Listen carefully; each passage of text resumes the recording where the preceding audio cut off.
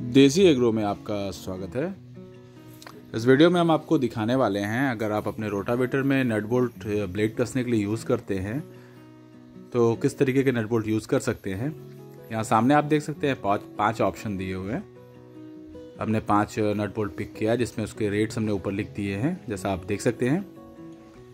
अब आप लोग कमेंट करके बताइए कि इस वीडियो को देखने के बाद कि इनका रेट इतना ज़्यादा क्यों है? क्योंकि हमने शॉपकीपर से पूछा तो उन्होंने बताया कि भैया, जो जितना महँगा है वो उतना अच्छा है। जैसे ये पैंतीस रुपये का है, देख सकते हैं। इसके अंदर लॉकनट है ये, ऊपर की तरफ़ इसमें रेड ग्रिप दी हुई है और ये टीवीएस का है, लिखा हुआ है ऊपर। और ये ब्लैक कलर का है। इसको बंद कर दिया हमने। अब ये सत्ताईस रुपये का है। देख सकते हैं आप। ये है प्रिज्म का, प्रिज्म सेफ़ करके। ये भी एक लॉकनट है, जिसमें ब्लू कलर के अंदर प्लास्टिक लगी हुई है रोवर्सल के साथ आता है। जैसा आप देख पा रहे होंगे। अब ऐसा क्यों है, मुझे नहीं पता, और ये इसका कलर देख सकते हैं, चेंज है। और ये तीसरा वाला आप देख सकते हैं, ये गोल्ड करके कुछ है वी एन गोल्ड इसमें भी वॉर्सल आता है और ये भी लॉकनट है। इसके अंदर भी ब्लू कलर की प्लास्टिक दी हुई है, जैसा आप देख पा रहे होंगे।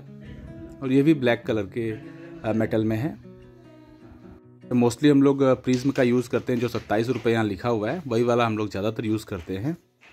और वो अभी तक सेफ़ है। अब इनके हिसाब से जो बीस रुपये और सोलह रुपये के नट हैं वो जल्दी टूट जाते हैं अधिक लोड पड़ने पे। जैसे ये वाला देख सकते हैं पूरा स्टेनलेस स्टील टाइप दिखाई दे रहा है ये ये लैंसर का।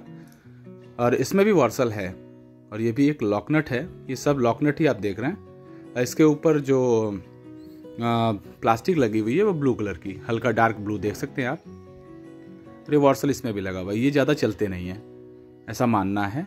रोटावेटर में अगर आप इसको लगाते हैं ब्लेड्स में तो जल्दी टूट जाते हैं। और ये सबसे सस्ता वाला जो सोलह रुपये का है, इसमें देख सकते हैं आप, इसका जो बोल्ट है वो ब्लैक कलर में है। टीवीएस का ये भी है, लेकिन अब वो एक टीवीएस का पैंतीस का है और एक टीवीएस का सोलह रुपये का है।